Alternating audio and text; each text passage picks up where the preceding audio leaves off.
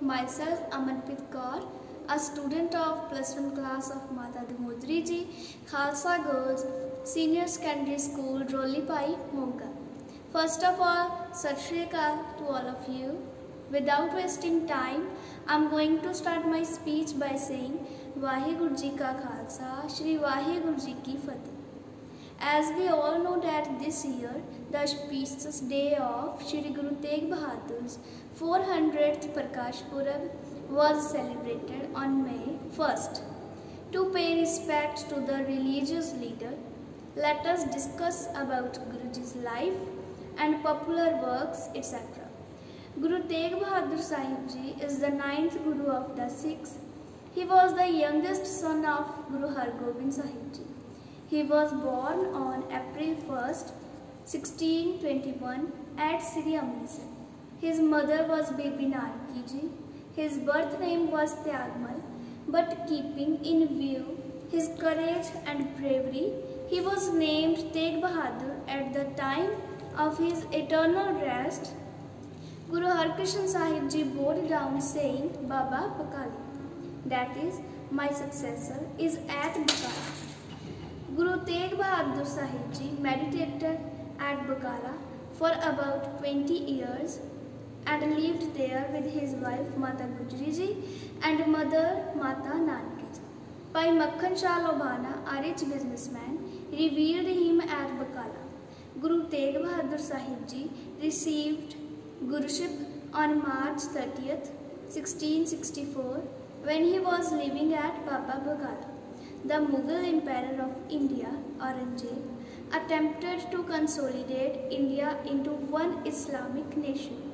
In order to achieve this aim, he set out to virtually eliminate Hinduism from India.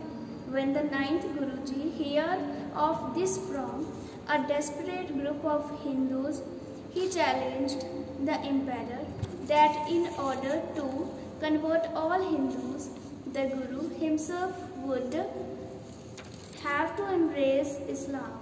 As a result, the Guru was imprisoned at the request of Aurangzeb in 1675.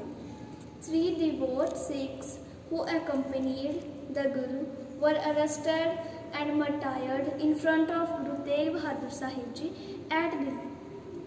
Despite being forced to watch the torture and execution of these disciples, the Guruji simply refused to concede to the emperor's demand.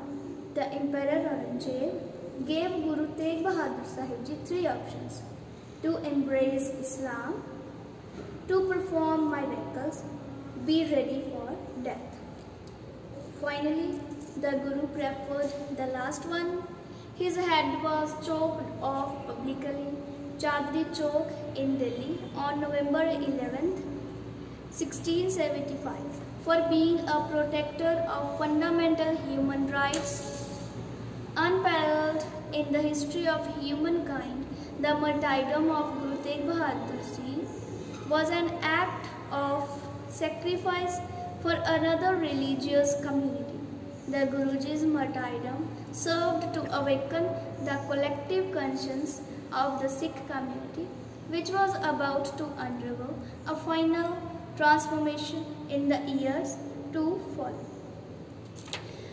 Bani of Guru Tegh Bahadur Sahib Ji was entered into Sri Guru Granth Sahib Ji by Guru Gobind Singh Ji. Guru Tegh Bahadur Ji Bani gives the message of non-attachment. Lastly, I would like to say that if any of my word was false or was against Sikh Maryada, I take my words back and apologize publicly. Thank you.